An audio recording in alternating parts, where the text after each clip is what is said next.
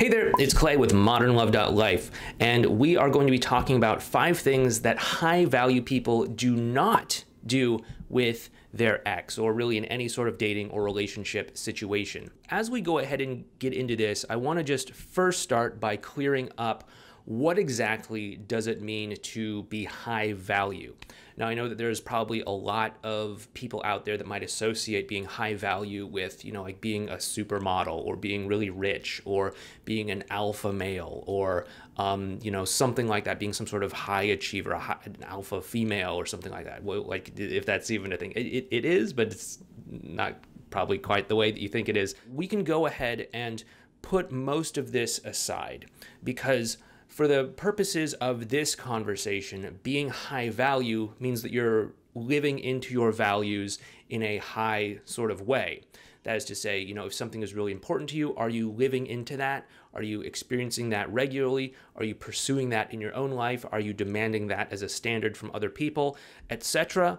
Or is there something else that could be, uh, you know, potentially causing you to not live into these values? And we'll get into that more in a little bit. Let's let's go ahead and start moving into this. So the first thing that high value people do not do is that they do not collapse when it comes to uh, their ex, when it comes to you know social interactions with other people, dating, relationship sorts of situations. Okay, so what exactly is collapse? We've talked about this in other videos, but just to quickly sum it up, it is to say, okay, you're confronted with some sort of situation, some sort of predicament, let's say, where it's like, okay uh, someone is asking me to do something that maybe isn't in alignment with my values, or someone is asking me to do something that makes me feel a little bit uncomfortable, or someone is asking me uh, something that that's kind of putting me on the spot, or something along those lines. We have a choice that we can make. We can, you know, one of those options is collapse. The other one we'll get into in just a moment, but one of those options is to collapse and say, okay, I'm going to set my values aside and just, you know, do whatever it is I think you want from me. I'm just going to, you know, make you happy. I'm just going to appease you in some capacity. And people have all sorts of reasons for doing this. Maybe they're non confrontational. Maybe they uh, have low self esteem. Maybe they're more that like people pleaser slash nice guy slash nice girl sort of thing going on there. Um, there could be all sorts of other things. But, you know, many times there's this sort of covert contract, the sort of implicit uh, understanding or agreement that the person who's collapsing kind of makes with someone else. Implicitly, of course. Implicitly, this isn't some sort of verbal thing where they actually talk this out and like make the agreement official with the other person that's just kind of going on in the person's own mind. But they often think okay hey if i take care of your needs if i make sure that that your problems are all solved and i give you what you want then you will be nice to me then you will give me what i want. So if i i don't know uh, sleep with you even though it makes me feel a little bit uncomfortable then you will fall in love with me and want to be in a relationship with me. These are sorts of things that might embody collapsing okay High value people don't do this because they're more anchored into their own values than they are into just sort of, you know, making someone happy for the sake of not rocking the boat or you know whatever the case might be. The second thing that high value people don't do with their ex or, or dating and relationship situations is uh, posturing. So again we're in that sort of situation where we can choose to either collapse or we might choose to posture. Posture is the other alternative that many people feel as if they have to choose between collapse or posturing um, in, in, these sorts of situations. And posturing, what this really is, it's you know kind of the opposite of collapsing. Instead, you're kind of puffing yourself up, trying to convey a certain identity, a certain um, appearance, a certain mask, if you will. Basically, you're trying to put on a certain type of performance that's probably a little bit disingenuous or inauthentic. Now, this is stereotypically kind of the macho bad boy jerk kind of role. Uh, women can obviously do this too, but you know it's it's most widely understood as the macho bad boy jerk kind of thing. And um, but but it's not just isolated to that because if you look at what's happening on an emotional level when someone is coming from that uh, way of being, is that they're kind of choking off uh, a certain slice of the emotional spectrum and they're just only expressing i don't know maybe happiness and anger but they're not allowing themselves to show i don't know sadness because they might think that that makes them weak. They are not allowing themselves to show um, maybe that they have needs because they think that that makes them vulnerable or something like that. Um, and so this is the, the classic example of posturing. Of course, there are also other ones as well too. Another common one that people do is always being happy, right? If I'm just always happy around my ex, then they'll see how great my life is and they'll fall back in love with me and they'll want to get back together with me. Um, we don't want to. I mean, first of all, it's it's totally fine if you genuinely are a jerk. Although I hope you're not watching my videos. If you're a jerk, go watch someone else's videos. Um, but uh, it, it's also fine if you genuinely are happy, but we don't just want to kind of force happiness if that's not how we're genuinely feeling, because that can kind of send a mixed message to someone else. They're like, okay, I'm happy all the time. Um, and then they might think, well, you know, wow, that's great that you're happy, but I'm having this like totally normal human experience after our breakup. I have good days, I have bad days. Sometimes I feel like, you know, crud. Other days I feel, you know, uh, great. Like maybe I'm doing it wrong and you're doing it right or something like that. Um, it can also kind of create a disconnect because, you know, if they see you as always being happy or always being, you know, some sort of constrained emotional state, they, they, they might feel like there's a greater disconnect because they're experiencing deep down inside a full spectrum of emotions. Um, it can also cause a lot of uh, sort of energetic non-congruency, incongruency between the two of you, because maybe on some level they can tell that you are not being authentic in this situation and that you're actually choking off, constraining your emotional experience to a certain very narrow band of that emotional spectrum. And they can tell that, and they can tell that there's something out of alignment, something incongruent with how you genuinely feel versus what you're trying to portray and express to the world. And this can come across as them saying, like, I don't know, something just doesn't feel right.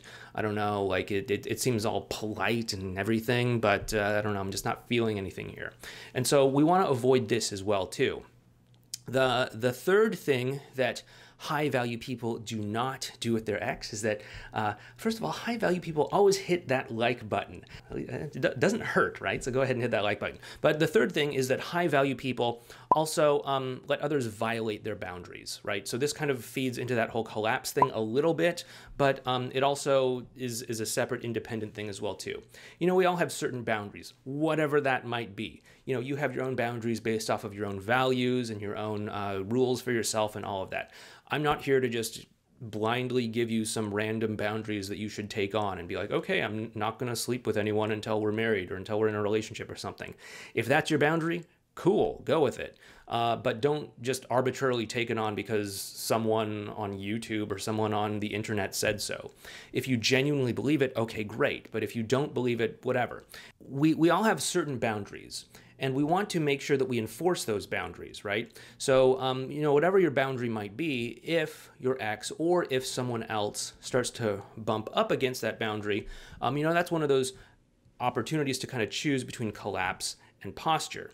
And it's not like you necessarily need to, to, to pick one or the other. It's actually a false choice because, you know, when you collapse, you're kind of saying like, okay, yeah, it's totally fine that we're uh, doing this thing that I feel uncomfortable with. It's totally fine that uh, something is happening that, that, that like violates my personal values or something like that. Whereas posturing is like, hey, how dare you do this? Granted, certain extreme things might justify that sort of response, like like abuse or something like that. But um, generally, whenever someone violates a boundary, they probably don't even know that that's your boundary. And so we don't necessarily want to have this um, very sharp reaction to it. Instead, just calmly let them know. Again, that false choice between posture and collapse, there's actually a third option, which is to stay rooted and anchored in your own values and just simply go for those values and let others decide, you know, if you're um, pleasing to them or not, or if you're, uh, you know, meeting some sort of performance standard or not, okay? That's, that's really what we want to do.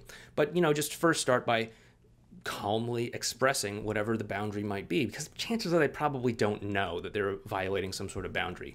If you have expressed that, then you might just want to start saying like, "Hey, just so you know, once again, that is a boundary of mine and if this continues like it's not cool with me and there's going to be, you know, some consequence, whatever that might be. I'm going to go home now or I'm going to be, uh, you know, I'm not going to put up with this. We're not going to be able to be together or whatever the case might be, right?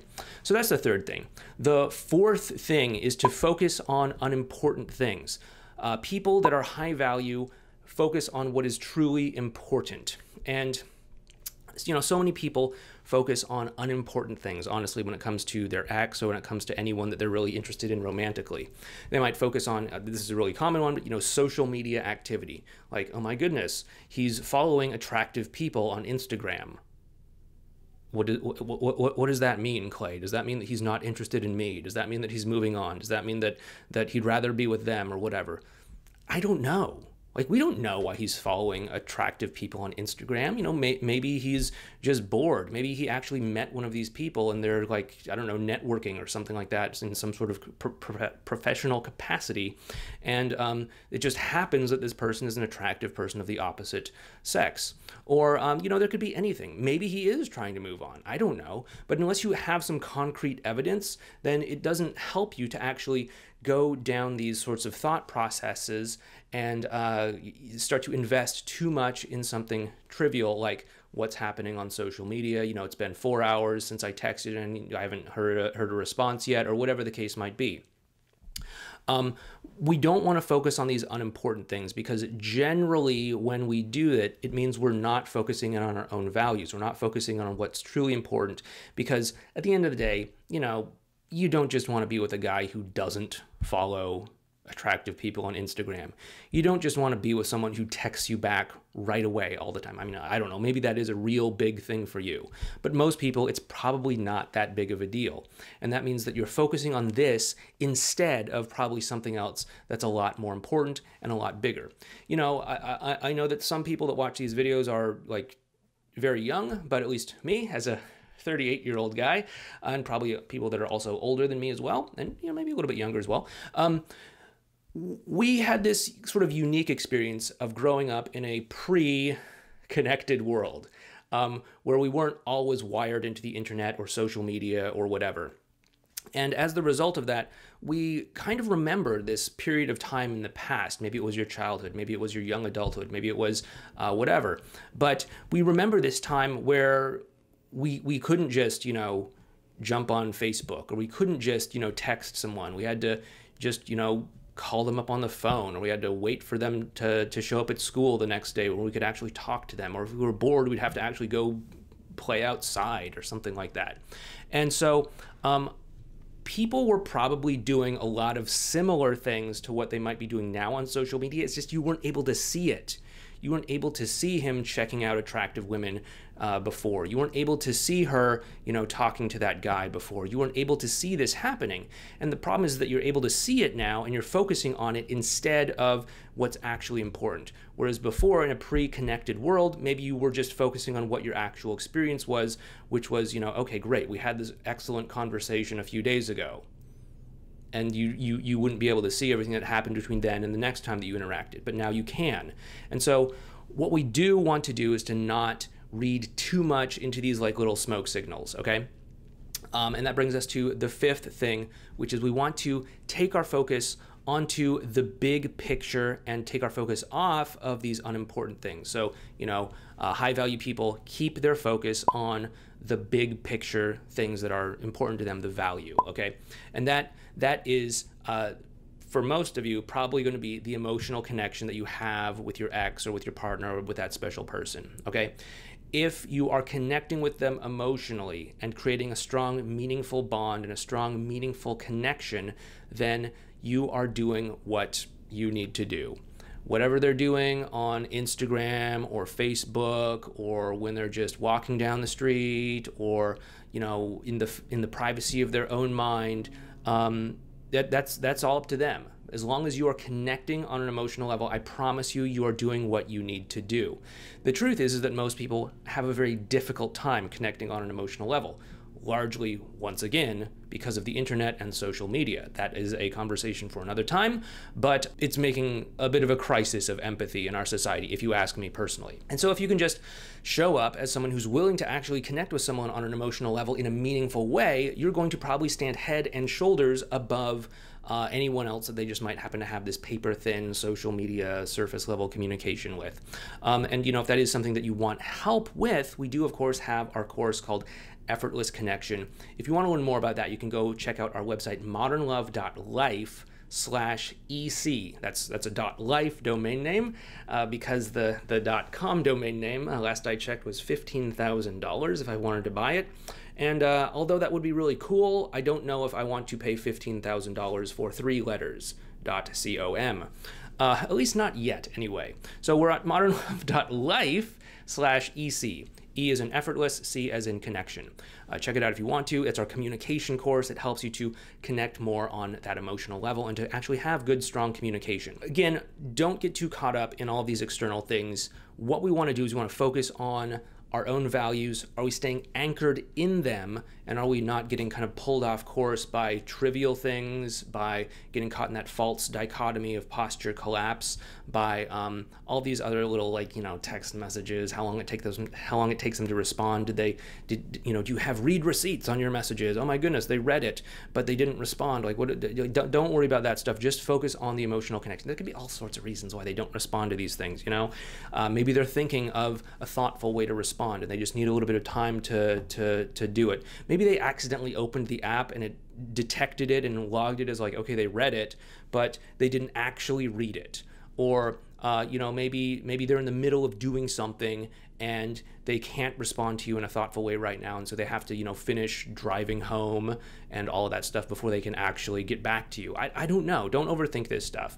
Uh, just focus on what is important, which is your own values and creating that high quality emotional connection. Anyway, I hope this helps you out. And uh, once again, hit that thumbs up button. I'll talk to you next time.